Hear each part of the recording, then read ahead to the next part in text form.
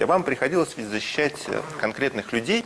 Мне очень интересно, потому что некоторые из персонажей, которые были вашими э, подзащитными или как там...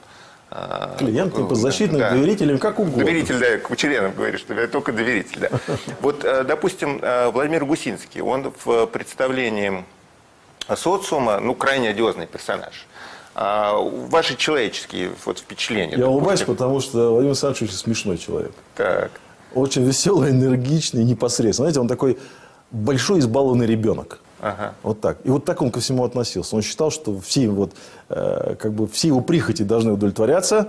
Да, все его идеи – это самые главные идеи, которые должны сразу реализовываться. И, конечно, у него всегда был альтер-эго Борис Абрамович. Вот. И вот это все время Да-да-да. противостояние, оно было, конечно, забавно выглядело. Вот. Но, безусловно, когда он пригласил меня, молодого адвоката, защищать... А вот и почему он помогать, пригласил молодого адвоката? Что не э, знаю, может, было? может быть, что-то увидел, услышал, потому что я тогда очень дружил, в принципе, я сейчас дружу э, с многими телевизионными журналистами. Э, Вот Володя Златницкий, который, к сожалению, умер э, молодым, вот, он, он мне позвонил, он говорит, мы пришли снимать вот эти обыски, а нас за- закрыли в комнате и держат съемочную группу. Ну, я со всем своим молодым задором, значит, э, молодого адвоката говорю, это незаконно, это противодействие журналистской деятельности, нарушение Конституции. Говорит, Павел, я тебя умоляю, ты можешь приехать хотя бы в окошко с нами поговорить? Значит? И как-то вот такой диалог уже более-менее нормально начался. И ребят выпустили, и потом я вышел, я вышел, а стоит толпище журналистов. Ну, там просто толпа. И они все, вы оттуда? Я говорю, да, оттуда. А что там? Я говорю, ну, проводят следственные действия, значит, тут обыски, и так далее, и так далее, и так далее. А вы что? Я говорю, я вот защищал ребят журналистов, вот они сейчас их выпустили. Все. И спокойно уехал домой. Значит, и сразу на следующий день мне звонит Резник, такой мэ- мэтр мой, э, мой духовный учитель, как я называю. Вот, и говорит, Павлик, ну вот я хочу тебе передать, тут есть предложение, которого нельзя отказаться. Вот. Мой подзащитный Владимир Александрович хочет, чтобы ты его защищал. Ну, я говорю, ну, Генрий Маркович, если я буду с вами работать, для меня это честь. Ну, и начали работать. Там прошло какое-то время, значит, его арестовали.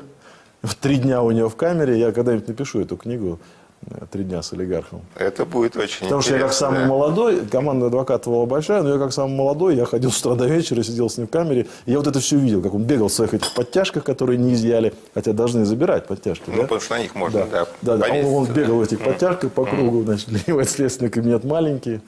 Это все, так сказать, забавно выглядело. А вот вы когда... Когда он Да. увидел, что бытовая неустроенность, значит, он быстро там распорядился. 20 холодильников, 20 микропечей, 20 телевизоров поставили в эти камеры. А это в Лефортово? Нет, это была бутырка, А, это еще бутырка. старая, до ремонта была бутырка. Вот, он сказал, все, давай, давай, значит, э, Павел, напиши программу, сейчас будем помогать этой тюрьме, что здесь человеческие условия были.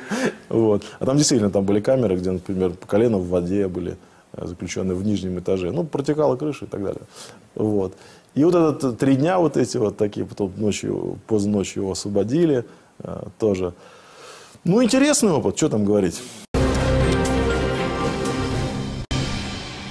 Ну, Разговор достаточно откровенный был, вопросы интересные. Я не ожидал, что там про маму будет спрашивать мою, про семью. Вот. Я все-таки, я был настроен на разговор по делу, понимаете?